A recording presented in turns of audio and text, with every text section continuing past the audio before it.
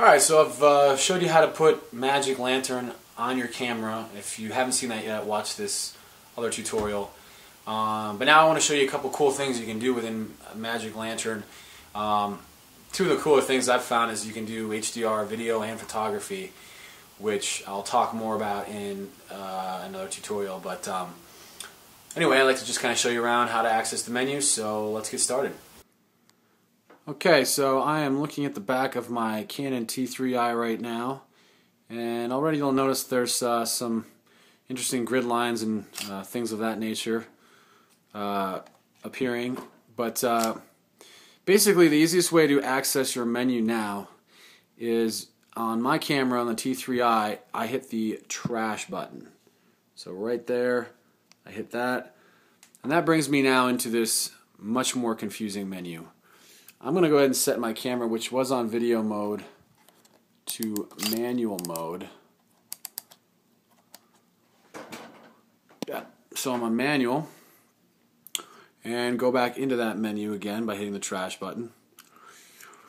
So two cool things you can do. Um, one, the first thing in movie in this mode is doing HDR. Um, so if you go over to shoot, there's this thing called HDR bracketing, which basically what it allows you to do is when I click set here, that sets up a bracketed photo where basically I'm going to take four photos at different exposures, which I can then later put down together, and they're going to make something very, very cool, uh, which I'll show you some examples of what I've done.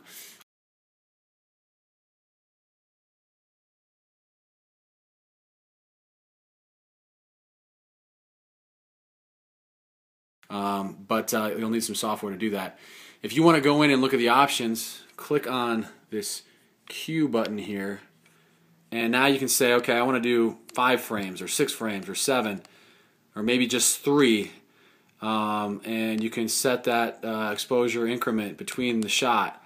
Um, so a whole wide range of things that you can do there. Uh, and then when you're in video mode, same thing you can come over here and you can do video, HDR video.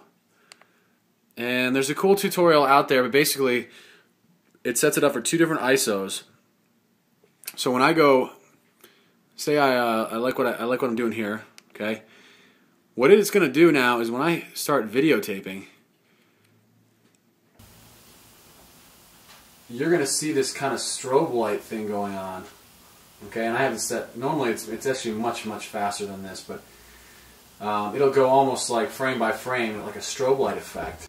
And what that gives you is basically two different exposures that you can play with and you can create, it's really good for cinematography. Um, there's some good examples out there of HDR video, but uh, those are two of the coolest things that you can do right in the menu, um, along with a whole host of other features, uh, things that you can bring out. But uh, that's basically how you do it. You just use this trash